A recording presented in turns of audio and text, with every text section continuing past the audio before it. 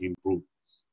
I'll go on to Dr. Naresh Babu, who is head of the department Retina Services, Aravind Eye Care System, Madurai, to share his slide. First, we'll cover all the techniques, uh, then we'll go for a discussion. Dr. Naresh.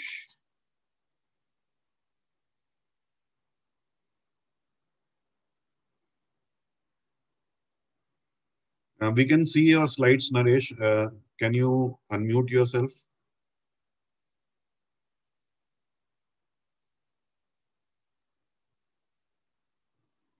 We are seeing your slides, uh, but I can't hear your voice, Naresh.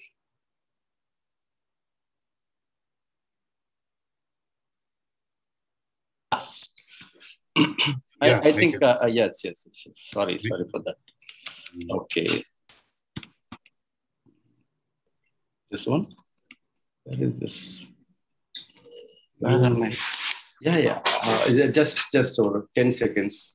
Yeah, sure. I have some issues here.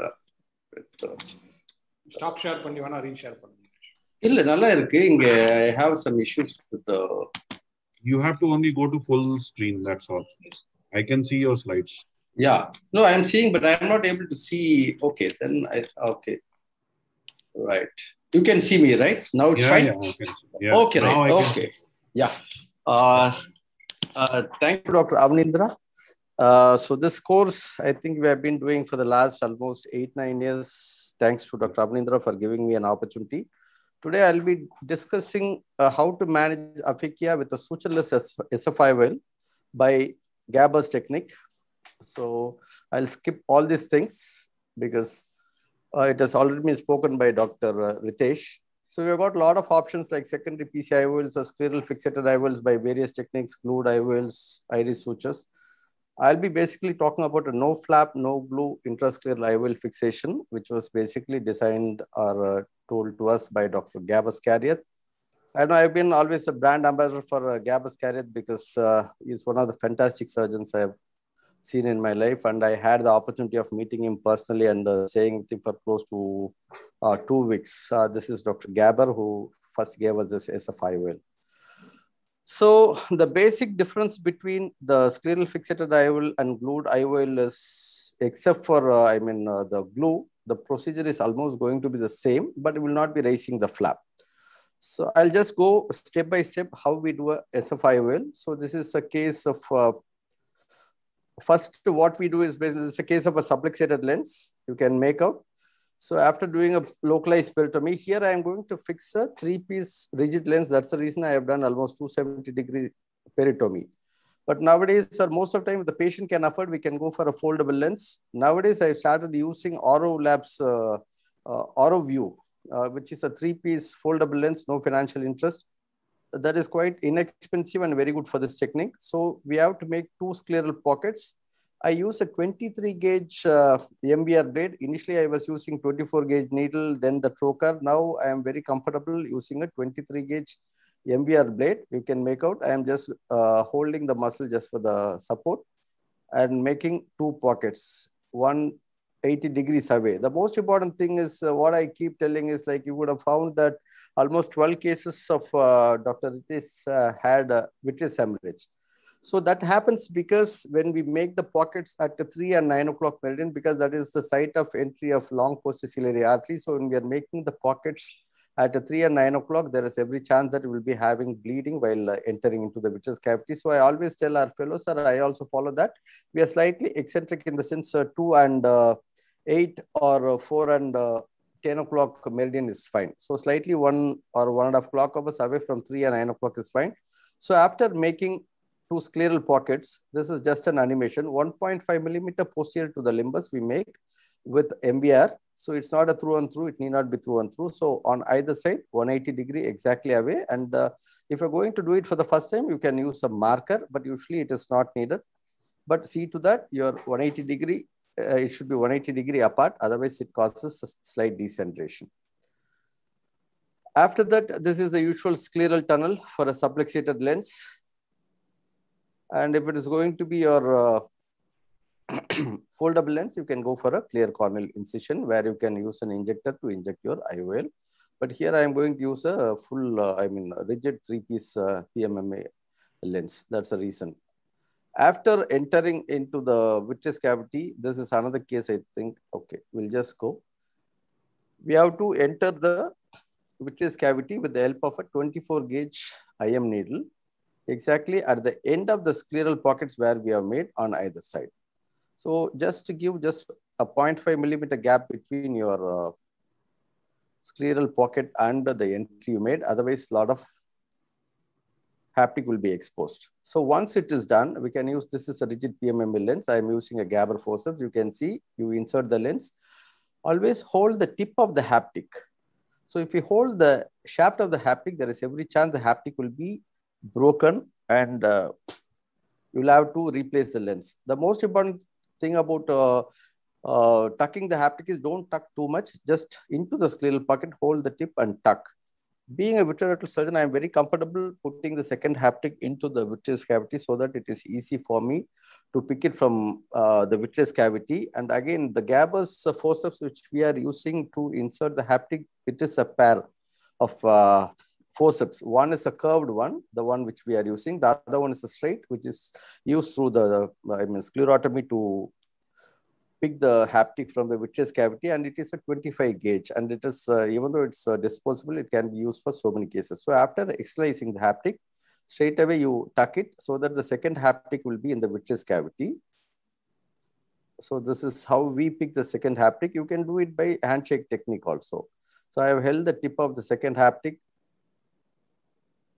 and usually i use a forceps and just keep supporting on the sclera to give a counter pressure. Okay, when you give the counter pressure, when you externalize, it is easy actually. Otherwise, it will be having a pulling effect. After holding, you can uh, make out, we always hold the tip. You can see the curved Gabor's forceps. Curved tip, just to go into the scleral pocket, which is made and tuck it sufficiently. In case if the other side is over tucked, you can release it with the thing. So this is a case where we have done a lensectomy. Same, actually, the pockets are made And here the levitation is done. As I have told, we are entering into the vitreous cavity with the help of a needle, just a 24 gauge IM needle. Once it is done, use a Gabor's forceps, or you can use any forceps. You can use a 23 gauge or 25 gauge. This is again a rigid lens, three piece PMMA. So it is quite inexpensive. Just hold the tip, never the shaft. the most important thing is when the shaft tip is snipped more than two millimeter we always advise to replace that lens. The reason is if the tip is snipped more than one millimeter, there is every chance that post-operatively one of the haptic can dislocate because there is no sufficient, uh, I mean, uh, length of the haptic. So this is the POD one of the case which we have done. And these are the other cases where we have done this technique. So the basic uh, the advantage of this technique is there is no cost for the glue and it can be done with any three piece, either foldable or a rigid lens. And uh, nowadays we stopped even doing the conjunctival flaps. You can do transconjunctivally also. Uh, if, if you want to do it comfortably, go for uh, what you call the Gabor's forceps. Otherwise, you can use any of the intraocular forceps. So these are uh, the few cases. The advantages, uh, it can be done in a dislocated lens or provided it is a three-piece dislocated lens, you can use the same lens. It can be used in cases uh, with IOL, CTR complex dislocation, can be combined with any of the corneal procedure, and it can be used in traumatic lens also. The most important uh, advantages, like same as uh, uh, what do you call the glued IOL, you don't need any, uh, I mean, special haptic architecture. You don't need to have special inventory. You can use the three-piece lens which is available in your inventory. But the limitations are only three-piece IOLs can be fixed. Silicon lens or other single haptic cannot be used because that single haptic, I mean, uh, single piece IOLs, the haptic can degenerate or it may break while externalizing. And these are the complications which has already been discussed. I don't want to discuss again. And a few of our publication, this uh, is uh, our publication on uh, evaluating the sutureless, glueless, flapless for uh, pediatric age group. So it was done in 40 of the 25 eyes patients with a mean age of 13 years with a standard deviation of uh, 3 point plus or minus 3.7 years. Usually SF I don't do in children less than 7 or 8 years because that is the time you get the proper scleral rigidity. So uh, the conclusion of this trial was the refractive error induced is very, very minimal in these lenses. Of course, we'll have to correct depending upon the age. It is a suitable procedure for children who are non-compliant with uh, spectacles. And the complication profile is almost similar to that which has been reported in the adults. And another publication is uh, we have analyzed our cases in the past three years where we have done close to 1,311 eyes. So these are the complications and I mean the indications, and we had almost 1.7% of the eyes developing retinal detachment. As uh, it was moderated by Dr. Avanindra, RRD happening in these cases, managing the vitreous properly, especially at the site of sclerostomy, where you have to clear that area completely of the vitreous. Having the vitreous and doing this procedure in the presence of uh, vitreous can lead to traction and can lead to this complication. And in fact, one of the worst thing which we have come across in this study is like uh, almost 70% of the uh, eye uh, reattached with uh, one surgery, but uh, nearly one third required more than one surgery. And if you see the final reattachment was only in 76%, which is much, much, much lesser than a primary retinal retinal detachment. So once RD happens in these cases, we found that the complication is very, I mean, the PVR chains are very advanced, managing them is very difficult. And uh, the last uh, study which uh, we have published is on 10-year trend on uh, uh, the incidence of SF-IOL. If you see actually the uh, culture positive endophthalmitis is only one case actually. So it is almost similar to the rest of the endophthalmitis which we get in post-IOL. And the latest publication was done by one of our fellows, Dr. Saurav, he has published in uh, uh, 2021 IJO. So he has given a frugal model for the trainers how to do it. Actually, people who are interested in doing this technique can refer to this article.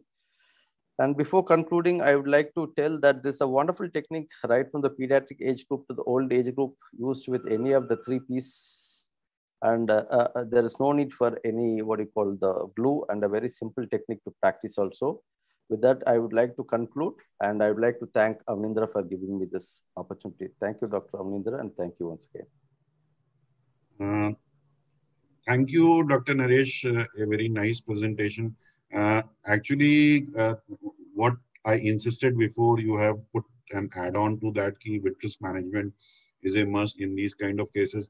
And maybe the incidence is pretty high because the eye, what we are tackling is all complicated diet, trauma, subluxation, and uh, uh, post-operative complications like PCR, vitreous mismanagement, vitreous traction. So uh, incidence of rhegmatogenous retinal detachment is will be higher in these group of patients.